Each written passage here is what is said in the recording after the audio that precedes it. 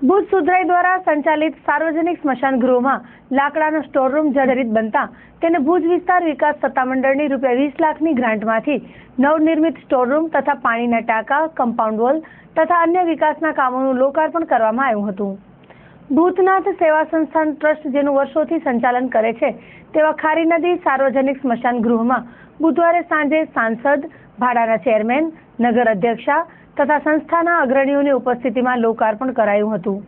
આ પ્રસંગે યોજાયેલ કાર્યક્રમમાં સાંસદ શ્રી વિનોદભાઈ ચાવડાએ કોમ્યુનિટી હોલ માટે સાંસદની ગ્રાન્ટમાંથી ભાડા તરફથી ચેરમેન શ્રી કિરીટભાઈ સોમપુરાએ ભૂતનાથ મહાદેવ મંદિરના પ્રાંગણમાં અન્ય સુવિધાઓ માટે જોઈતી ગ્રાન્ટ ફાળવવા તૈયારી બતાવી હતી.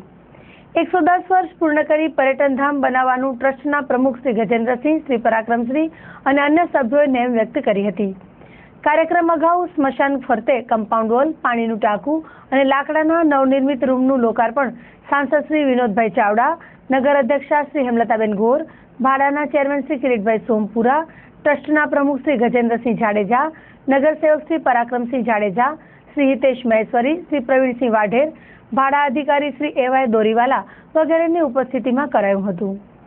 આજે ભાડા દ્વારા જે વીસ લાખ રૂપિયાનું અનુદાન આપવામાં આવેલ છે, ભૂતનાથ સેવા સંસ્થાનને, એમાંથી અમે એક લાકડા રાખવાનો રૂમ બનાવેલ છે, પાણીનો સ્ટોરેજ માટે એક ટાંકો બનાવેલ છે અને કમ્પાઉન્ડ વોલનું કામ કરેલ છે. એ બધા વસ્તુ જે આજે તૈયાર થઈ ગઈ છે, એનું લોકાર્પણ રાખવામાં આવેલ છે. આગામી દિવસોમાં અહીંયા એક કથા કરી શકે એના માટે અમે એક મોટું સ્ટેજ ઓલું શેડ બનાવવાનું છે. અને આ ભૂતનાથ મંદિર જે છે એને એકસો આઠ વર્ષ પૂર્ણ થઈ ગયા છે. એટલે એનું નવું આપણે મંદિર બનાવવાનું પણ આયોજન કરેલ છે. શું અપીલ કરશો ભુજની જનતાને આમાં જોડાવા માટે? જોડાવા માટે આ સાર્વજનિક જગ્યા છે અને અત્યારે તે ખૂબ ડેવલપ થઈ છે.